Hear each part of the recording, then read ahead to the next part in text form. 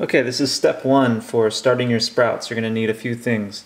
A bag of seeds. I got this from the Sprout People in San Francisco at sproutpeople.org, but you can use sprouts from anywhere, of course.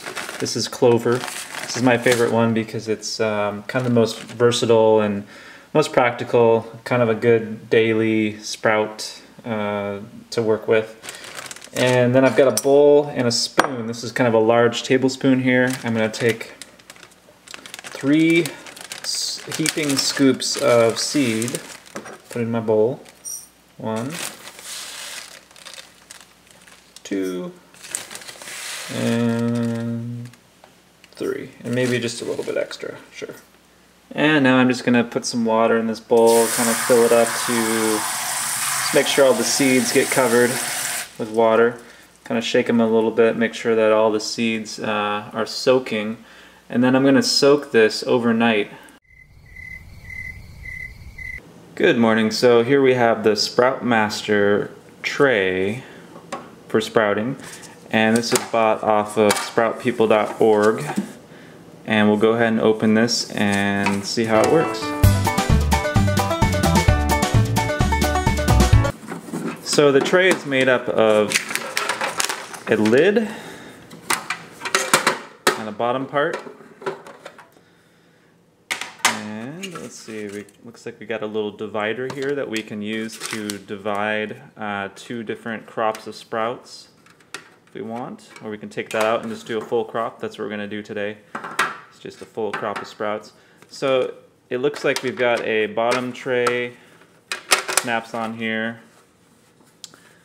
and then a top tray that we can use to either stack more of these or we can use it to in the beginning when the sprouts need darkness, we can keep the tray on and then take it off about day three, day four when they need to green up. So here we have our seeds that we've soaked in a bowl of water overnight. This is the morning after we soaked them. They're all nice and waking up right here. I'm not sure if you can hear them. And here is our tray.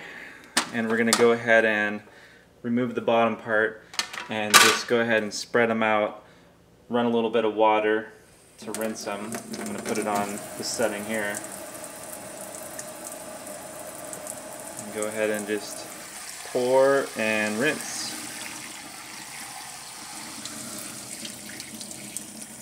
Make sure we get all of them out of there. No stragglers.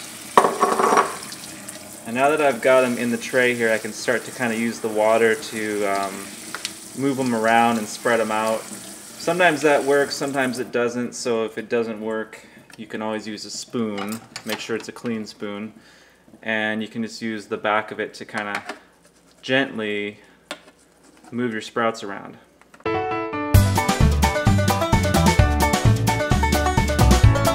And now it's about 7 o'clock, done with work for the day. Gonna take my tray here and give it a little rinse.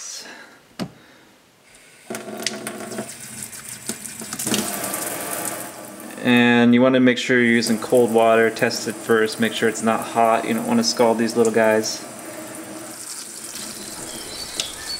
And I'm kind of just working the water around shaking a little bit to even out the seeds. And then I'm just going to drain it off here on the corner. And you can see it's draining kind of slow. Sometimes it takes a couple minutes but you do want to make sure there's no water standing in there. And I'm going to go ahead and put these back for the night, and then I'm going to repeat in the morning with another rinse. Good night.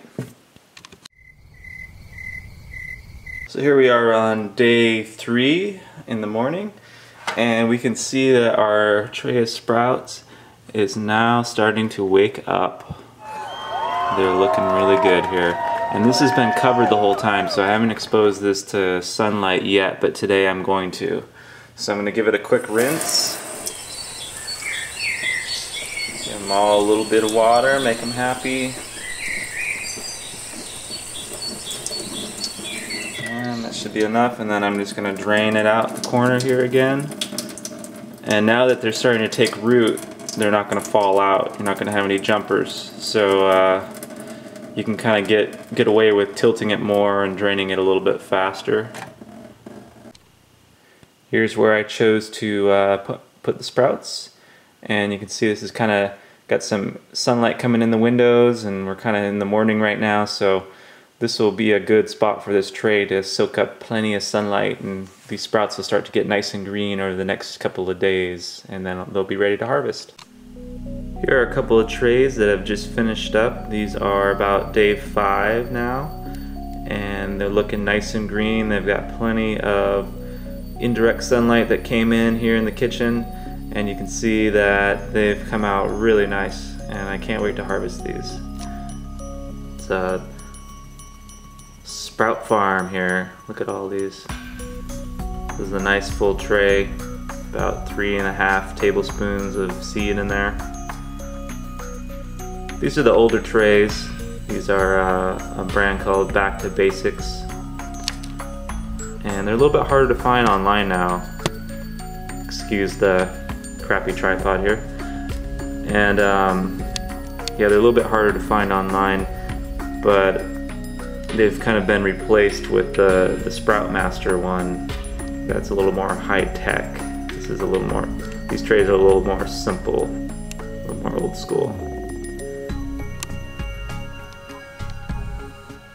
Thanks for watching. Eat more sprouts.